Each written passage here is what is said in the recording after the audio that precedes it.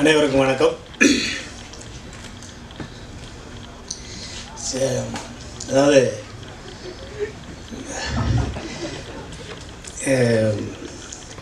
என்ன சின்ன சம்பளம் கிடைக்கும் அப்படின்னு ஒரு கம்பெனி போவோம்.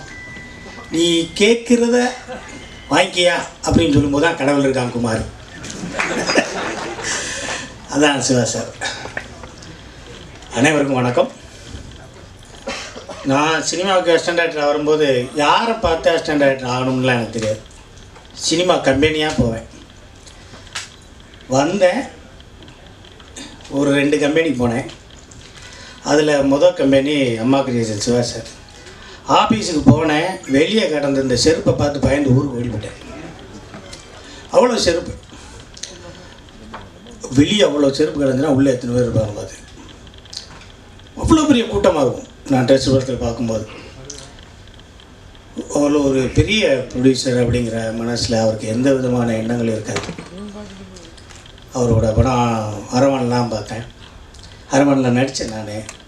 என்னை வந்து ரொம்ப உரிமையாக பேசுவார் வைப்பார் எனக்கு ஒரு தயாரிப்பாளர் தெரியும் அப்படின்னா எனக்கு எனக்கு ஒரு நாலு கம்பெனி வந்து நான் எப்போ போனாலும் சரி அமாவாசைனாலும் சரி ஒரு நல்ல நாளாக இருந்தாலும் சரி பிறந்த நாளாக இருந்தாலும் சரி எங்கேயா போய் காசு வாங்கணும்னா முரளி சார்கிட்ட போவேன் ஆஃபீஸ்க்கு பாப்பிலே அப்படிம்பாரு.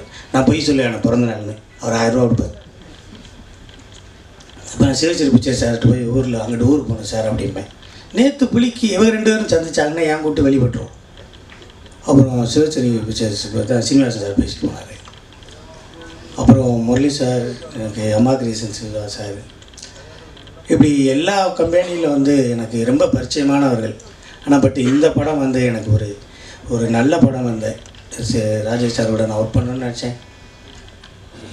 ஜிவி சாரோட பேச ஒர்க் பண்ணணும்னு நினச்சேன் பட்டு எல்லாமே இதில் நடந்திருக்கு. உண்மையிலே கடவுள் இருக்கான் குமார் அப்படின்னு தான் நான் சொல்லுவேன் சார் வந்து பயங்கர கிஃப்டட் இதுதான் தான் நான் இங்கே சொல்லுவேன் ஒரு மனுஷன் வந்து வெற்றி அடைஞ்சு இருபத்தஞ்சி வருஷத்துக்கு அப்புறம் பதினெட்டு பத்தொம்பது இருபது படம் பண்ணி அம்மா அப்பா அந்த ஃபங்க்ஷனில் கூப்பிட்டு போய் நிற்கிறது வந்து கடவுள் இருக்கான் குமார்?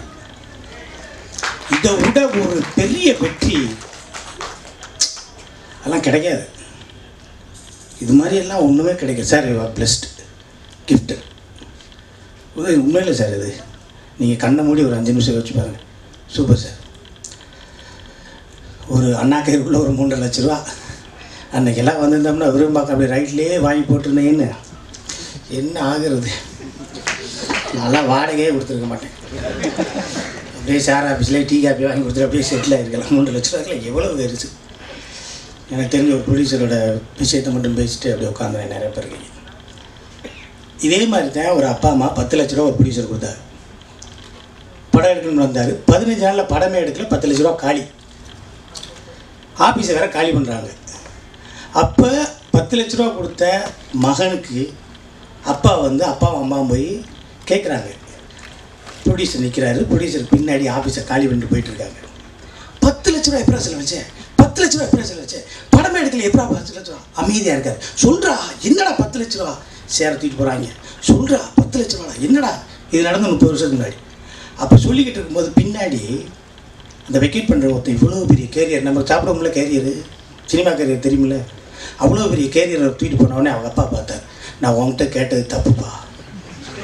இப்போ தெரியுது. இந்த பத்து லட்ச ரூபாய் எப்படி போச்சு பத்து புரியுங்களா உங்களுக்கு எந்த ஊரில் எல்லாமே சாப்பாடு வேறு வேலை வேறு.